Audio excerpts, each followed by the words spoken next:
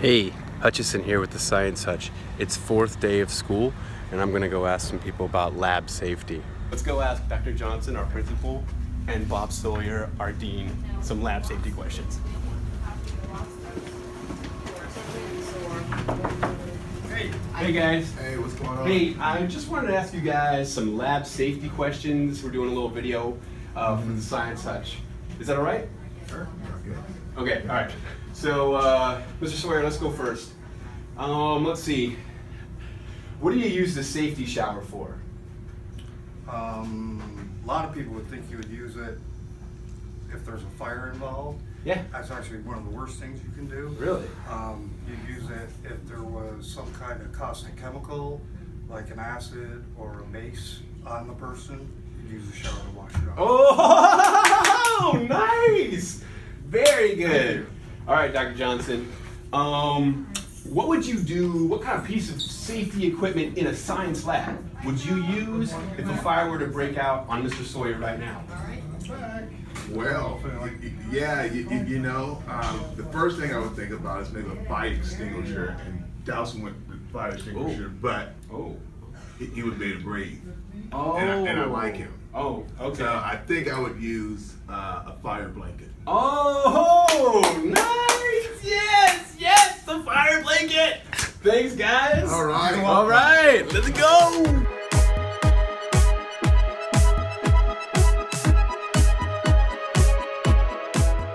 We get to hear these rules every school year.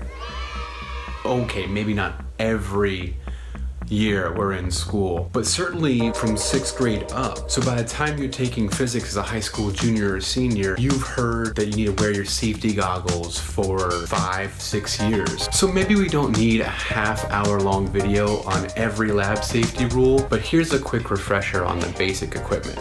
I know what you're thinking. We're all perfectly safe in this classroom, right? Right. Wrong. Just about everything you see in here is a potential hazard.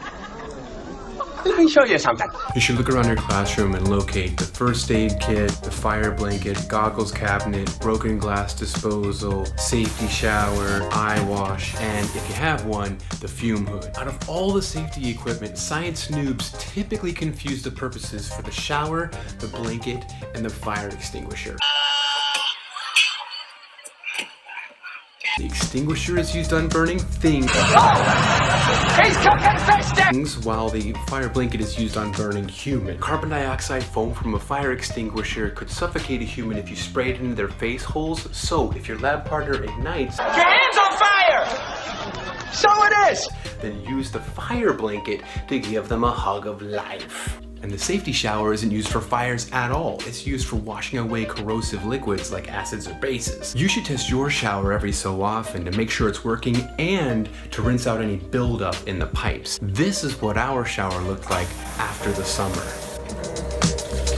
Oh, nice and brown.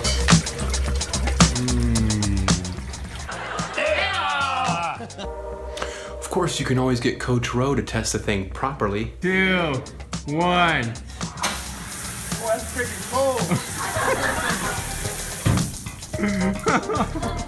What about the other lab safety rules we haven't covered? There are already lots of great lab safety videos out there. It would be a little bit silly for me to rehash what's already been done. So since I teach physics, let me just conclude by going over a few safety tips that are unique to the high school physics classroom. Number one, our goggles are different. We wear impact resistant goggles instead of the chemical splash guard goggles. The most common danger to your eyes in physics class is projectiles, so no unauthorized projectiles. Number two, when working with electric circuits, switch the current off before making circuit adjustments like replacing a light bulb, and never connect the positive end of a battery directly to the negative end of a battery with a wire. This is called short circuiting, and it will take the battery's electrical energy, turn it into heat so fast that the wire can get dangerously hot. Hansel.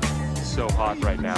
Assholes. Lastly, when finishing with electrical equipment, unplug it. And when unplugging, grasp the plug, not the cord. This will keep the insulation in the cord from coming out of the plug after repeated use. All right, that's it. Now, if you're a noob to lab safety or you're starting a chemistry class, you really should check the links in the description below for videos that will give you chemistry and general lab safety tips. Thanks for watching. This has been the Science Hutch. I was the Hutch. Safety was the science, and you're the physicist.